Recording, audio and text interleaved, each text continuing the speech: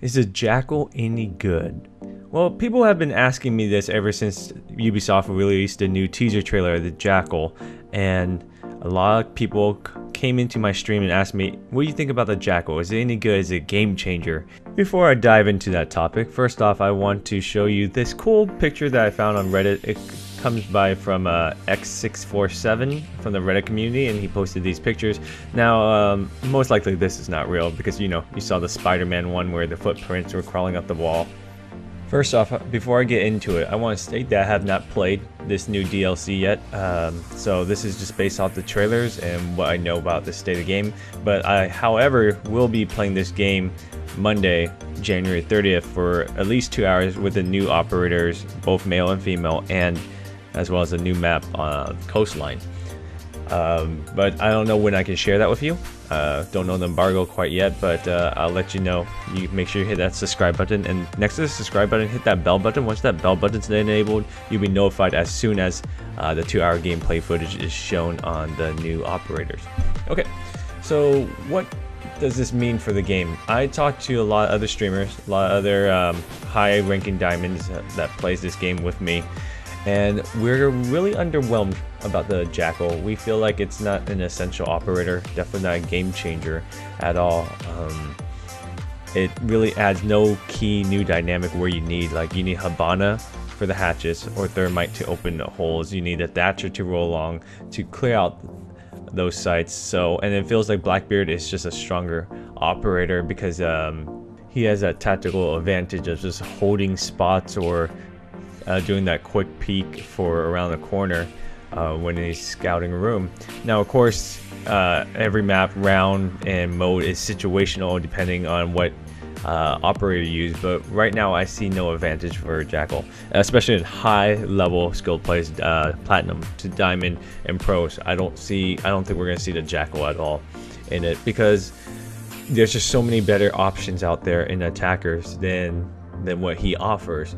And the thing is, when you at high level play, you clear and drone out every building for roamers. The, the Jackal is basically uh, looks for roamers, uh, counter roamers to see where they're going or where where they where different people are going.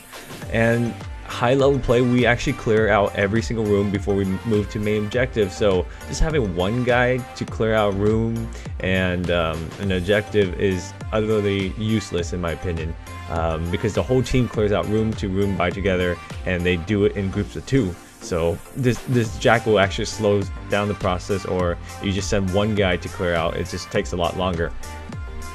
Also, I see that this is mostly played in casual and uh, it's going to be annoying to watch low level players play it or a lot of low, low, low level players. Um, I think it will make even uh, lower skilled players um, more infuriating to deal with because I feel that they're going to use their ability often and they're just going to keep looking at the ground. They're pissed out and therefore they're not looking at what's ahead of them and it's easier for them to get picked off. Um, the way you're supposed to use a jackal is you're supposed to use it sparingly. Um, just quickly turn it on and the room's clear. Look for any footprints and then turn it off and follow that general direction and then slowly check again. You're not supposed to always hold out the ability. I don't know, it's like IQ where you press it and it holds out the whole time and you have to manually switch it back. Or it's going to be more like Caveira where she activates it as a ability cooldown. But just to let you know, do not always use this ability at all time and always looking at floor, looking at the footprints. That's gonna get you killed. That's gonna be annoying. It's, it's, it's gonna be bad. Just look at it for like a couple seconds, kind of guess the direction of where the footprint's going, and then check those corners. Um, that's the best way to use them. But really, if you're at high, level play, you always check all your corners before you clear a room. You do a quick peek on every single corner. You pre-fire. So this just kind of adds a little confirmation of what you are been doing at a high level play. So this, I feel like he's meant for lower skilled players, but the thing is, lower skilled players would not know how to use them, and it, it, it's kind of redundant in that fact. Now, I do have some concerns. Does the how long do these footprints last? Uh, I feel like these if these footprints are around 10 seconds, I think it should show up so it's more recent. Uh, if it lasts for the whole match, uh, you can just be following footprints forever, or there's hundreds of footprints everywhere on the uh, defender side. So it's kind of hard to tell on that. And then how can you dis distinguish whose footprints are what, which defender. It, it makes a huge difference. You know what kind of defender you are chasing.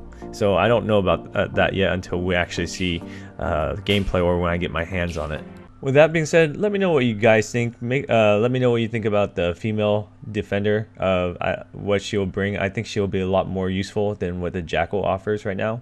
I'm going to go ahead and show you some fun community fan art that I found that makes this uh, just make a more lighthearted stuff in our life. This comes from Reddit uh, by Pimp Master McGooby. He says, "Let the yokai clean up footprints." and then it was a Roomba uh, or Roomba uh, to show it off. This next trailer footage is shown by Kuba Samawar on YouTube.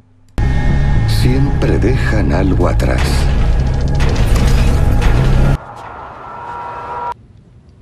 No, God!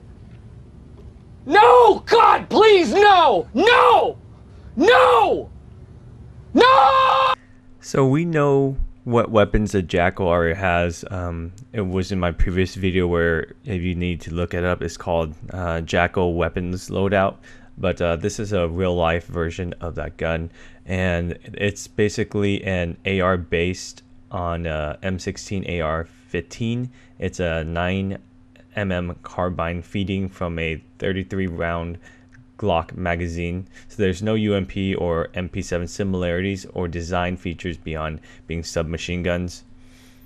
Here I want to show off of a little insight of us how we understand the development process uh, when it comes to games. So in this specific uh, process is Rainbow Six Siege and the DLC operators, and we can actually learn a lot of how game design comes from a very long standing point and that uh, it's not something that it, it, they can quickly shell out.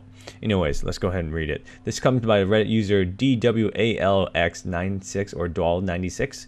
Uh, we are always listening to what our community comes up with. He came up with this back in January 12, 2016.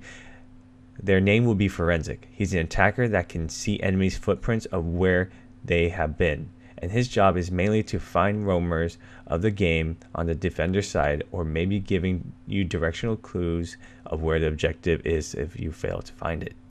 And maybe they can have black light type of gadget too, uh, find the footprints on the ground so the gadget doesn't look exactly like IQs or something LL. And also, the more faded the footprints tells you how more recent it was. And Rainbow Six replied, This is an interesting idea, passing it along.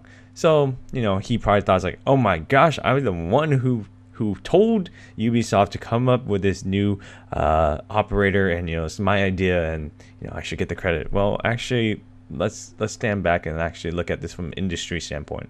In response to this article, this Reddit user, Gunmaster95, says he might have been in development for years and just didn't get completed or slotted to finish until DLC season. Source I'm a AAA developer, and fans post ideas that we've already building all the time. We often aren't copying them. They happen to post stuff we already work on. That said, we totally get inspiration from post ideas sometimes too just not all the time. And then Epi, you know, Rainbow Six Siege community manager, well loved and received. It's Epi, uh, said confirmed. So basically, uh, this is already telling us that Ubisoft has probably already working on this DLC character when the game was being still made, like before the DLCs came out, before season one came out, like while they're still making the game, they already had this operator idea, and they're like, guys, we can't finish this in time, and right now we need to focus on these main operators. So let's go ahead and shelve him for now, and then uh, if we're gonna continue working and building upon the game, then let's bring him out for DLC season. So that's that's kind of gives you an idea that Ubisoft already had this operator planned for a while, and that um, they finally have time to work on it and fully flesh out and implement it. Uh, also about the Gun Master is the more I read about the posts regarding him, uh, he is a Bungie developer. So he made uh, or worked on Destiny on PS4 and Xbox One and PS3 and Xbox 360. So and he worked on the DLCs as well as the expansions for Destiny on those titles. So It's pretty neat insight. I thought that's something that uh, you guys should think about. Like that games is just not quickly made and can be fixed right away. It's a long process. So when you develop a game, you have to think three years out before what consumers think on the final launch day. All right, guys, I'll see you later. Oh, oh yeah, if you guys want year two season pass, it's in the description, and you want to copy the games in the description. Thanks.